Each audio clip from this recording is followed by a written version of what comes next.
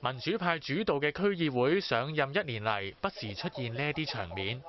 要求政府解雇縱容警察、侮辱香港市民的鄧炳強處長。啊，主席佢呢個動議咧，我離開先啊，越係啊，我冇。民政專員警務人員以越權為由拉隊走嘅情況，民主派統計過，至今有大約九十次。行政長官林鄭月娥接受本台專訪嗰陣，主動提到呢一個問題。區議會仲可唔可以發揮到區議會嘅功能啊？因為經歷咗差唔多一年呢新一屆嘅區議會咧，都係吵吵鬧鬧。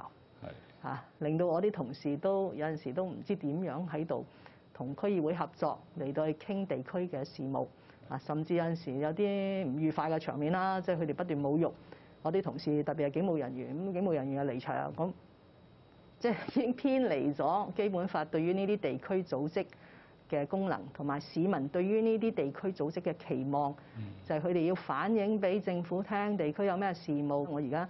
更加現實要處理點樣令到呢啲區議會咧回復翻有一個正常啲嘅功能。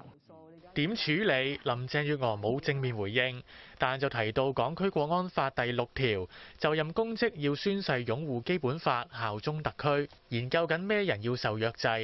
佢話：如果基本政治問題都處理唔好，港普選就好難穩妥，會出事。施政報告提出資助青年到大灣區就業，林鄭月娥話部分青年抗拒內地係因為誤會。你問佢咁，你去邊度令到你有呢個觀感，話裏邊啲嘢唔好啊，啲人唔斯文啊，或者冇規矩啊？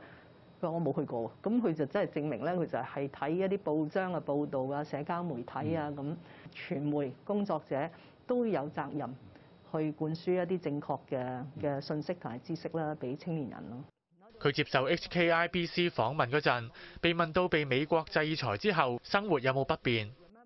Sitting in front of you is the chief executive of the Hong Kong SAR, who has no banking services made available to her. I'm using cash every day for all the things.